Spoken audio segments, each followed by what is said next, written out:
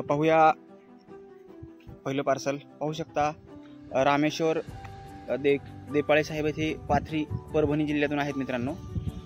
हेही पार्सल त्यांचंच आहे मित्रांनो. यामध्ये थायलंड फोर जी बुलेट कांड्या आहेत मित्रांनो. पाहू शकता आपण.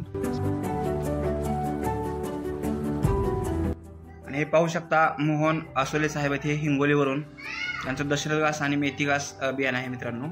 त्यानंतर पुढील पार्सल आहे आदित्य साहेब येथे पाहू शकता अकोला जिल्ह्यातून. आणि हे तिसरं पार्सल आहे शेवटचं मारुती बोडके साहेब येथे नांदेडवरून.